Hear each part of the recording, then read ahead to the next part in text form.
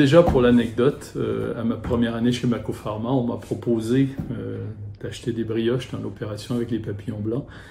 Et, et chez moi, au Canada, les brioches, ça correspond à des viennoiseries en France. J'en ai donc demandé six et ça m'a donné des réserves de brioches pour un certain temps.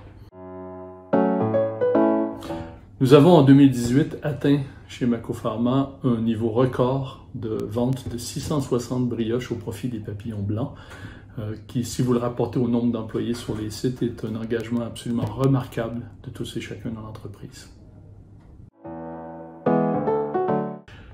Donc aujourd'hui, le groupe Mako Pharma euh, est un leader mondial dans le domaine de la transfusion sanguine avec une présence dans 80 pays. Nous sommes donc des experts des métiers du sang. Euh, au fil des années, nous sommes aussi diversifiés. Nous avons une activité stratégique au niveau de la biothérapie qui utilise les connaissances de Mako dans d'autres euh, domaines thérapeutiques. Pour la petite histoire, euh, en 2006, tout ça a débuté avec l'engagement de Marilyn Royer, qui était membre du conseil d'administration des Papillons Blancs et travaillait avec nous sur le site de Mouveau. Euh, le site de Tourcoing, donc le siège corporatif où on se trouve aujourd'hui, s'est joint à l'opération en 2010. Et donc l'historique total de Pharma avec l'opération des papillons blancs est donc d'une quinzaine d'années déjà. L'opération Brioche chez Pharma se cadre donc dans la semaine européenne du handicap, semaine pendant laquelle nous organisons nombre d'activités pour sensibiliser nos employés aux enjeux euh, des personnes en situation de handicap. Dans ce cadre-là, donc, nous proposons une vente de brioche à, tous les employés euh, et les sommes récoltées dans cette vente sont au profit de l'Association des papillons blancs.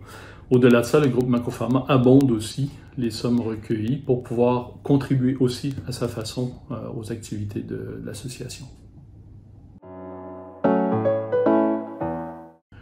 Au-delà d'un engagement social de Mako dans sa responsabilité d'entreprise, euh, nous avons aujourd'hui dans le groupe entre 7 et 8 d'employés qui sont en situation de handicap. C'est donc un enjeu très très très important pour nous dans notre quotidien.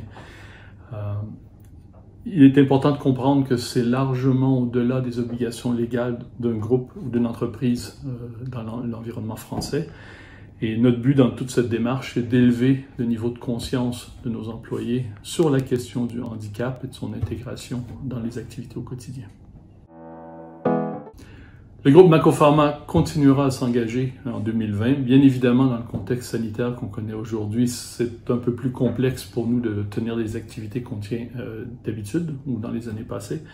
Euh, mais nous continuerons à marquer le coup avec un certain nombre d'événements et d'engagements virtuels envers nos employés. Donc oui, Macopharma continue à s'engager malgré le contexte difficile qu'on vit aujourd'hui et on continuera à s'associer avec les papillons blancs.